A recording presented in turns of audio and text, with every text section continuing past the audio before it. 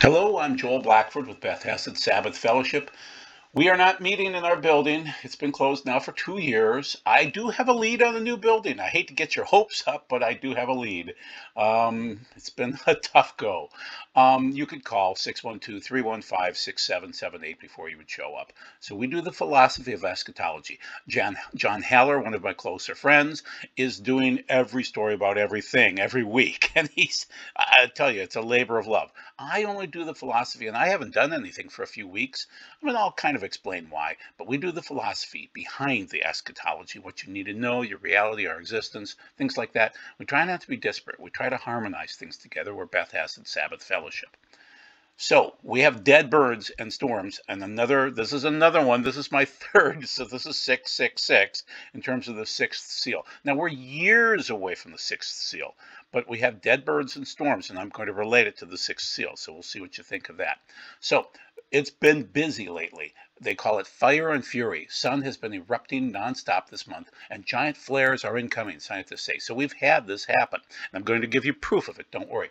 So these are near misses, but still, with our electromagnetosphere thinning, and I'll show you what that looks like, you'll see that these storms are more dangerous for us, and you'll see what happens as lightning passes through.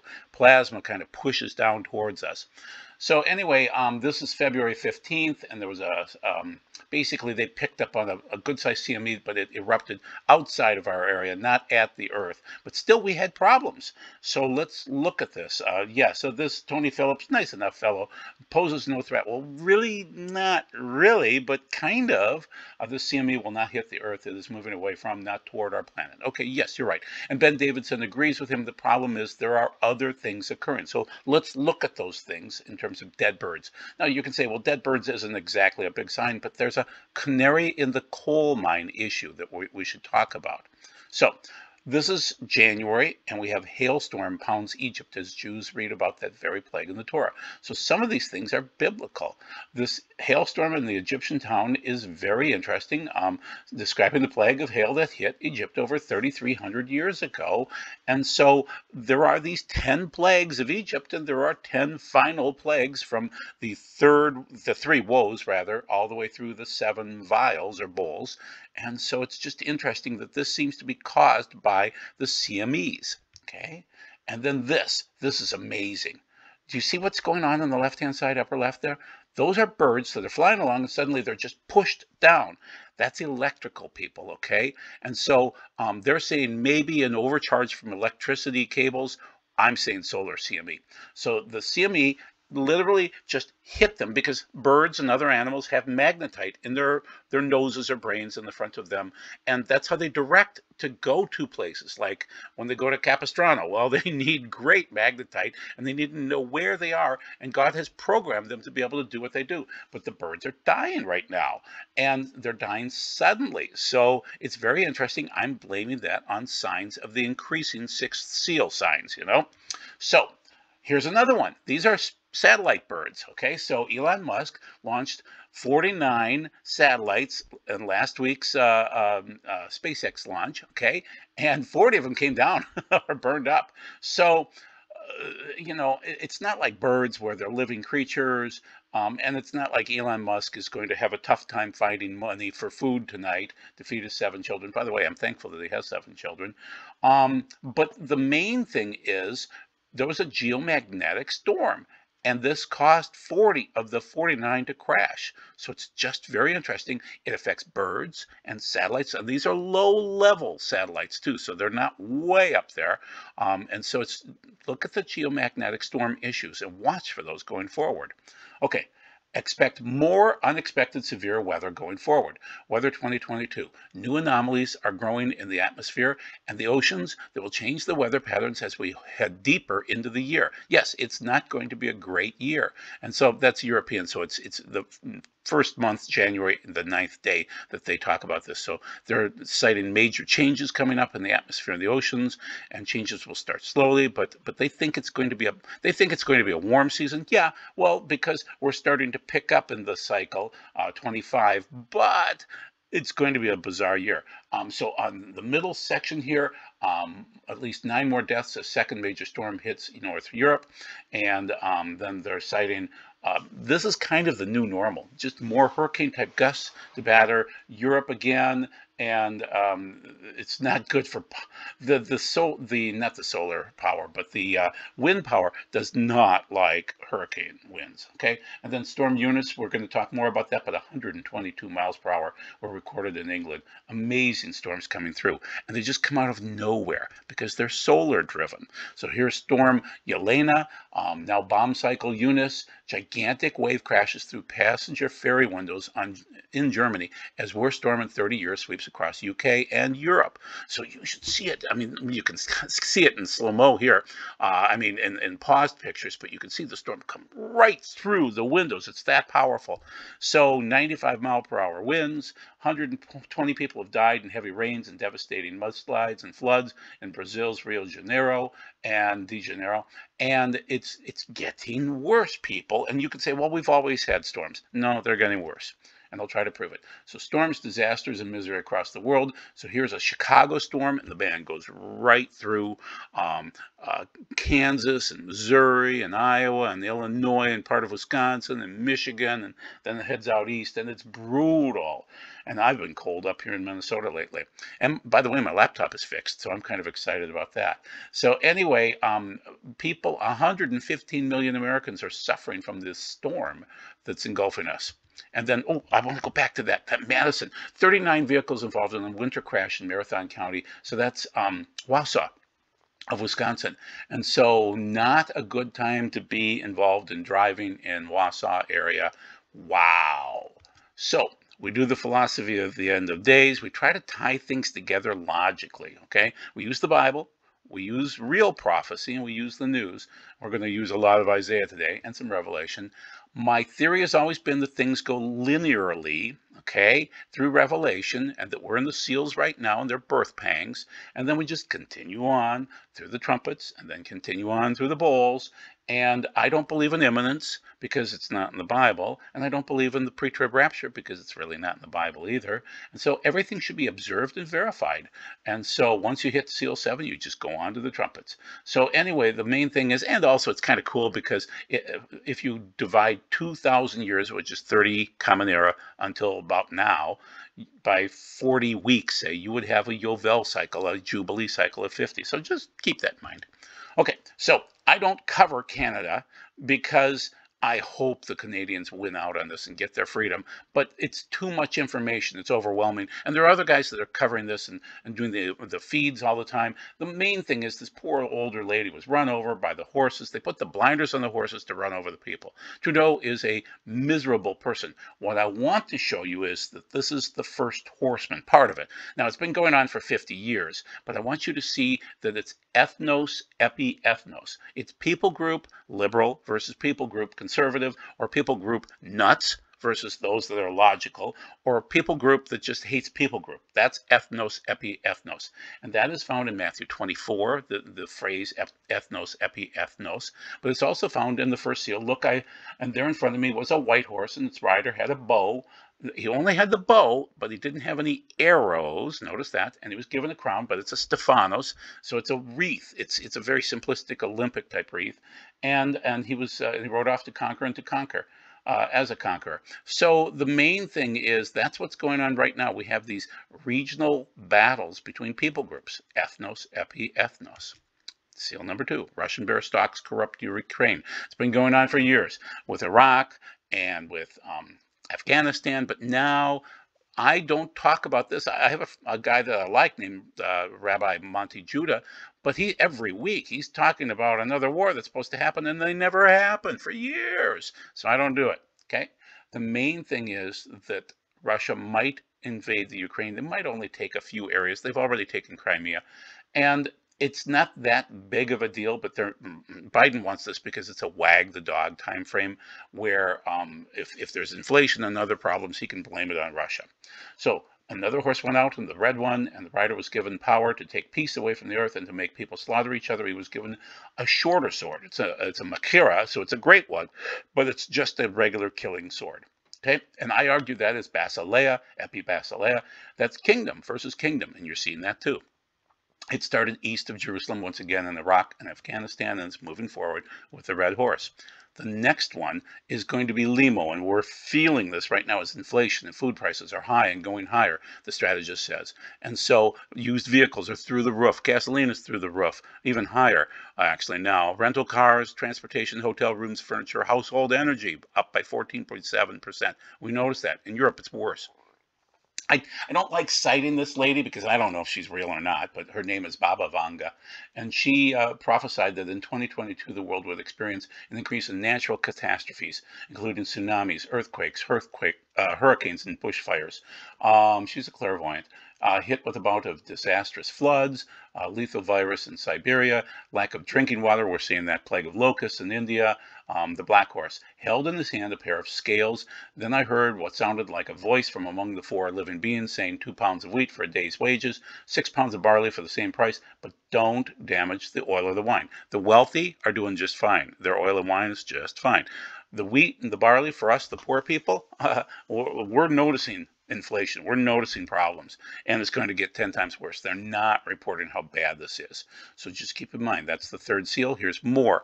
This is Bayer. Why are they involved in our crops? But Bayer warns of more glyphosate shortages, and here's how severe the situation could be this spring. Farmers are going to have a tough time planting. They don't have enough herbicide, fertilizer, fungicide, insecticide, but it's mostly herbicide and fertilizer. So it's looking brutal for farmers this year. So are they going to have difficulty sourcing their inputs for the 2022 season? Can they afford it? Are they going to plant? Europe has next to no gas left, according to Gazprom. This is an RT article.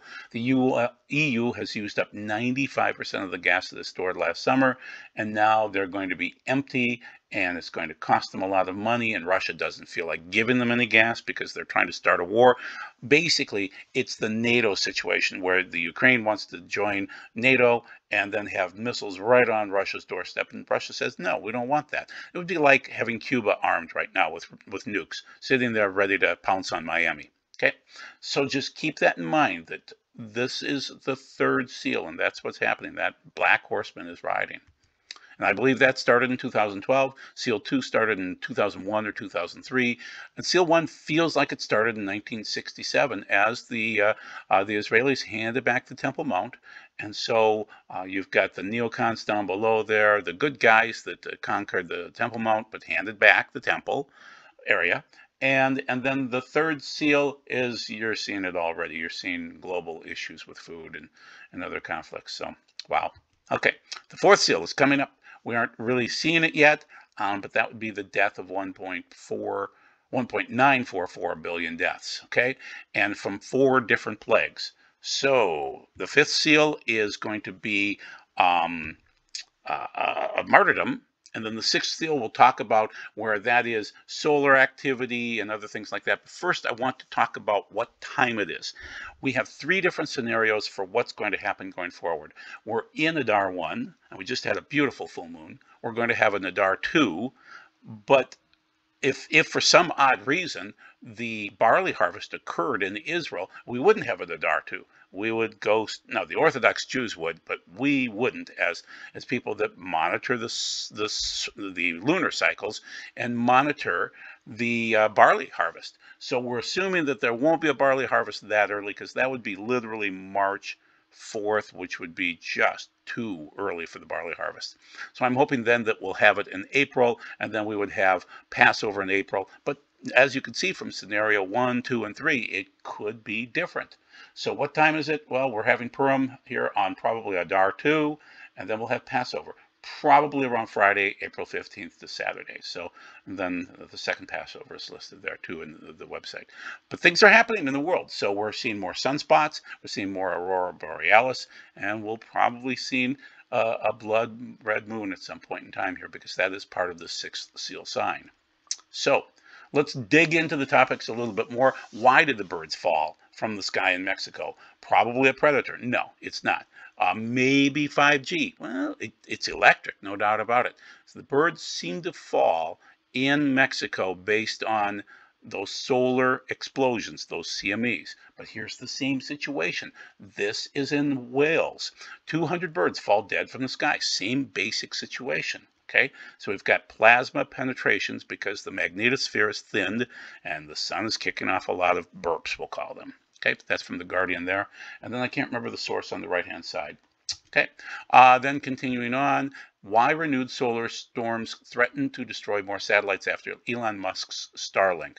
So yeah, he lost 40 of his 49 of his low orbiting uh, satellites in a geomagnetic magnetic storm during the same time the birds were dying. So this is like satellite birds to me. And so he lost dozens and dozens of satellites. So 40 of the 49 low orbit satellites were launched February 3rd and they're done. So very interesting. So kind of like birds in their own little way. When you get stuck in that particular area um, and there's a solar storm coming, you're going to feel it. Okay, uh, whether you're a bird or a plane or a satellite. So what is it? On the left-hand side, upper left, you can see the sun kicking out the burps, either a solar wind or a coronal mass ejection, and the solar winds then hit the Earth via the poles and cause a aurora borealis coming from the poles, and then also storms and lightning. Okay, and then you can see on the upper right-hand side, as it hits the Earth, our electromagnetosphere kind of bends and buckles and moves as a result of that, and so then you can see how it comes in through the poles, and then you see the aurora borealis. Okay, so it's electrical. That's what I'm arguing all the way through. That that the things that you're going to experience going forward, when these storms hit you, all of a sudden it's going to be electrical, and it'll be an electrical storm too. Okay, once again, you get the CME, it hits the Earth, it causes a flux there, and then it comes in through the poles, and then you see the aurora borealis. Okay, and let's describe it in terms of the sixth seal.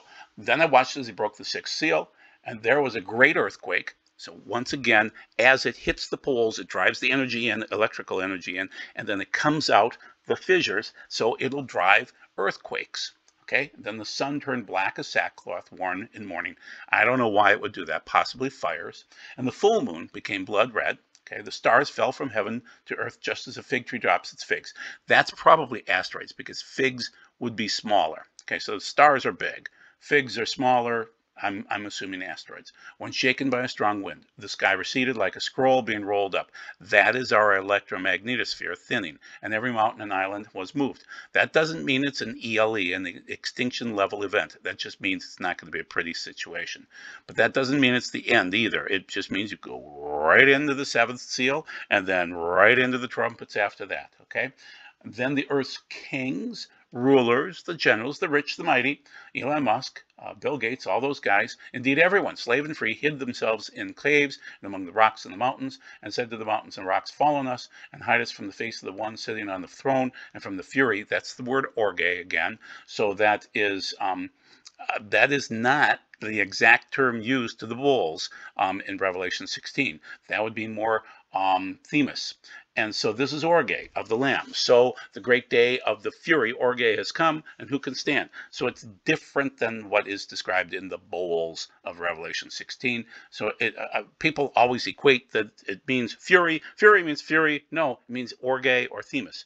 It, it's two different words. And so I'm arguing that Revelation 16 comes later, not at the same exact time as the sixth seal. Sixth seal, windows above have become have been opened. So that is uh, from Isaiah 24, 17 through 21. Terror and pit and trap are upon you, you who are living on the earth. He who flees from the sound of terror will fall into the pit. He who climbs, do you remember from Revelation chapter 6 how they wanted to fall, uh, have the rocks fall on them and protect them? Well, that's not going to work out so well. He who climbs up out of the pit will be caught in the trap. For the windows above, that's the Merom. That's not heaven. That's a level right above our heads and then up to about the moon area. Okay? And so that's the Merom, and that would be the electromagnetosphere, has been opened. The Earth's foundations shake. Okay, you know what that means. That's earthquakes. The earth cracks and breaks open, earthquakes. The earth crumbles to pieces, and the earth trembles and totters. The earth staggers to and fro like a trunk. That is um, when your poles shift, that's what that means. So the teeter tottering, yeah, staggering to and fro like a drunkard, that is the poles shifting. So he's back and forth like a watchman's shelter. Its transgression weighs heavy upon it. It will fall and not rise again. When that day comes, Adonai will punish the armies of high in the Merom. So those are actually fallen angels. And the and the kings of the earth here on earth. So he will punish the the um, angels, the fallen angels in the Merom, in the Merom, or from the Merom in the Merom, okay, and the kings of the earth here on earth. Two different people groups, uh, or angels versus people groups, okay? And so on the left-hand side, you can see swarm probes weakening of Earth's magnetic field, and there's the anomaly. No, it's a hole. It's a huge hole. They call it a dent. It's a hole, and that is described in Isaiah 24, which is the Jewish version of Revelation. Then another picture of the magnetosphere thinning from the coronal holes and, and, and things like that. Um, I'm going to give you Isaiah 34 and see if it sounds like that. Okay, for Adonai is angry at every nation, furious with all their armies. He has completely destroyed them. He handed them over for, to slaughter. Their slain will be thrown out. The stench will rise uh, from their corpses. The mountains will flow from, with their blood. The whole host of heaven will decompose. The heavens themselves will be rolled up like a scroll. Doesn't that sound like what we're experiencing now with the magnetosphere? All their array will wither away like a withering grape leaf that falls from a vine or a withered fig from a fig tree. That's Isaiah 34. So do you see a standard feel with all of those verses of what's going to happen? The magnetosphere will thin and it'll cause all sorts of problems on the earth. So, according to Ben Davidson and many others, we're heading into solar cycle 25 and we're going to go up in CMEs. So, whatever you're experiencing now in January, February is going to go up even higher. And so the shields are down, the CMEs are up, and extreme weather is dead ahead. That's five years of it. Here's the cycle, so you can see how it's starting to go up, and it's really going up quite quickly. And we should go up and peak around late 2025 or 26, okay? and that's just the cycle. And so it's getting busier, and it seems to be one year ahead of schedule. So there's no global minimum yet. But when we hit global minimum, it will be ugly. You know, around 2030, 2032, really ugly, really cold, especially up here in Minnesota. So the atmosphere is losing its shield. Ben Davidson. We studied the effects of of, uh, uh, of pole reversal would have on Earth's electric fields and how that would affect the cold atmosphere source plasma in the near Earth space environment known as the plasmasphere. We find that the stability of the plasmasphere is highly dependent on the shape of the magnetic field, which is weakening. And that magnetic field shapes of symmetry around Earth's rotational axis, leads to stronger erosions of Earth's plasmasphere, and leaves Earth's atmosphere more vulnerable to changes in magnetic field strength. That's bad. And pole shift too. So um, uh, basically what we should expect to see then is more lightning strikes on the right hand side and more CMEs will trigger massive coronal rain in the solar atmosphere. It's not going to be a pretty few years here as we're less protected by the magnetosphere and from UV and things like that. So more lightning strikes. And also it's not just the Earth, it's other planets too. Their atmospheres are changing right now. And so record lightning. So equatorial ionosphere should display signal, ozone depletion over the tropics, and then record lightning. So get ready for it. And the, there's one other article that I wanted you to see with the folly of focusing on uncertainty. Quit worrying about uncertainty and sea level projections if the sea rises by six inches in the next 50 years, who cares? It's the magnetosphere that matters right now. And, and it's really being prepared for global uncertainty of food, inflation, and, and world leaders that are just bent out of shape. They're just ridiculous. So um, emphasizing uncertainty is misguided for two main reasons. First, a growing body of research shows that providing uncertainty estimates to decision makers actually decreases the usability of climate projections. Yeah, so there you go. Okay. All right, so where are we right now? We're in the birth pangs we have gone through seal one, we've experienced seal two, we're seeing seal, seal three get bad. Each one is still increasing, as I've shown you before. Seal four is death, a lot of death, death in Hades. Then we go into the tribulation at, after seal seven. Then we go into great tribulation after the midpoint. And the two witnesses would be during the first half of the great tribulation. I mean, the first of the, the first three and a half years. So my predictions, increased wars, ethnic wars, okay, ethnos, epi, ethnos, increased crime, increased national wars is the second seal, increased food scarcity, economic upheaval, those are the third seals, increased plagues and deaths, the fourth seal, increased false prophets, and increased persecution of the believers, that's Matthew 24 and Revelation 6, the fifth seal, then increased earthquakes, increased cosmic storms, that's Revelation 6 and the sixth seal, Everybody's asleep all 10 virgins, so somebody's going to wake up sooner or later. There should be increased wickedness, of course. Love grow love will grow cold, increased uncertainty, fears, and then mental health devolves. Yeah, that's what's going to happen. That's Luke 21. And look at that horrible article below it. Mom decapitate, decapitates six-year-old son and dog after the devil spoke to her. Horrible six-year-old boy and the dog too. But and, and she said the, the devil, and she claimed that she wasn't mentally ill.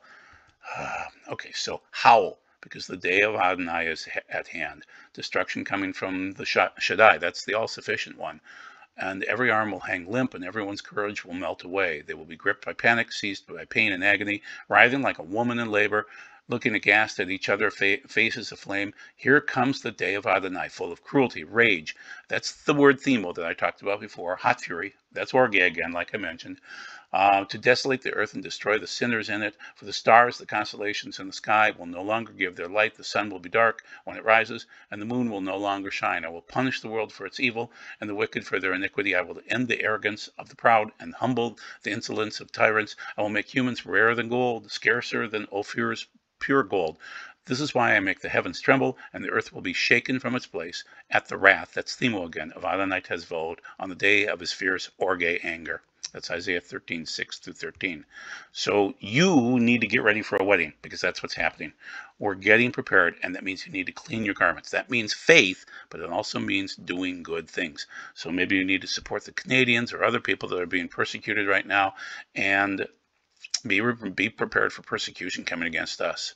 So that's it. That's my get together for today. And this is Beth Chesed. Thank you very much. Be blessed and take care.